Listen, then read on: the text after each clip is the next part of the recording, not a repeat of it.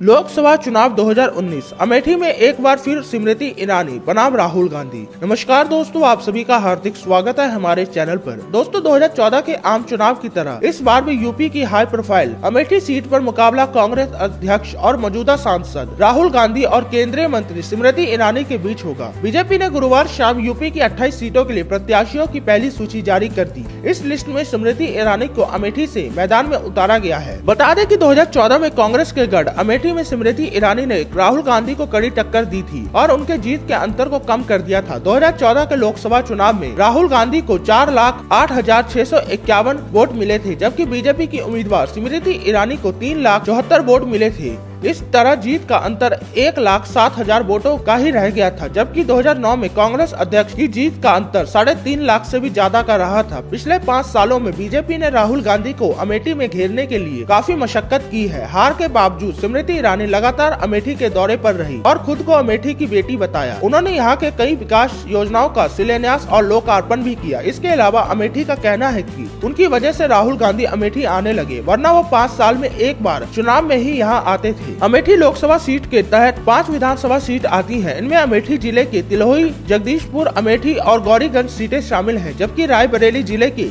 सोलोन विधानसभा seat आती है। 2017 के विधानसभा चुनाव में पाँच सीटों में से चार सीटों पर बीजेपी और महज एक सीट पर एसपी को जीत मिली थी। हालाँकि सपा कांग्रेस गठबंधन करके चुनाव मैदान में उतरी थी फिर भी जीत नहीं सकी थी। सपा ने तो गौरीगंज सीट जीती ली लेकिन कांग्रेस को एक भी सीट नहीं मिली। अमेठी संसदीय सीट को कांग्रेस का दुर्ग कहा जाता है। इस सीट पर अभी तक 16 लोकसभा चुनाव और दो उपचुनाव हुए हैं। इनमें से कांग्रेस ने 16 बार जीत दर्ज की है। वहीं 1977 में लोक दल और उन्नीस में बीजेपी को जीत मिली, जबकि बसपा और सपा अभी तक अपना खाता भी नहीं खोल सके हैं। दोस्तों, आपको क्या लगता है, इस बार अमेठी की सीट ऐसी कौन जीतेगा? आप हमें कमेंट करके ज़रूर बताए और हमारे इस वीडियो को लाइक और शेयर ज़रूर कीजिए। और आगे भी ऐसी खबरें देखने के लिए हमारे चैनल को सब्सक्राइब करना ना भूलें, क्योंकि हम हर रोज ऐसी खबरें आपके लिए लाते रहते हैं। धन्यवाद।